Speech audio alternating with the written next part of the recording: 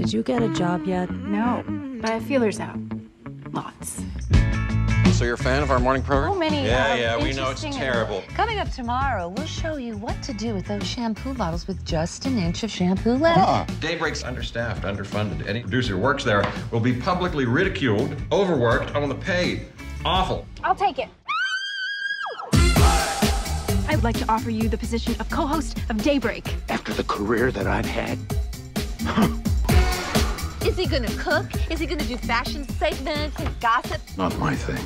You happen to be a pretentious, fatuous idiot. A fatuous idiot who makes three times what you make. So now is an excellent time for you to take up drinking. What's going on now? Mike is offended by a word in the next story. It's about Easter chicks. I'm not saying the word fluffy.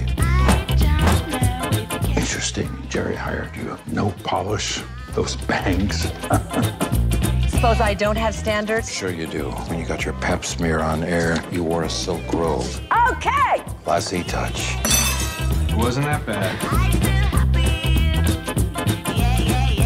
How reliable is your alarm clock? You want to make the ratings worse? That's why you came here? I'm not giving up. Try not to bore the nation into a coma with your dull news crap. Suck it. Mike! No one can do their jobs around here well because you can't be bothered to do yours at all! And we're back. Welcome back to Daybreak. It's only my job. It's not my whole life, right? You're worse than I am.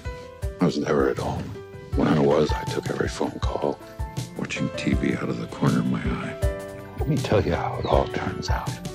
You end up with nothing, which is what I had till you came along. Take what you want, steal my pride, build me up or cut me down to size, shut me out, but I just scream. I'm only one voice in a billion, but you ain't taking that from me. No, you ain't taking that from me. You ain't taking that. Kissy? That's a little, that's wrong. Do it again.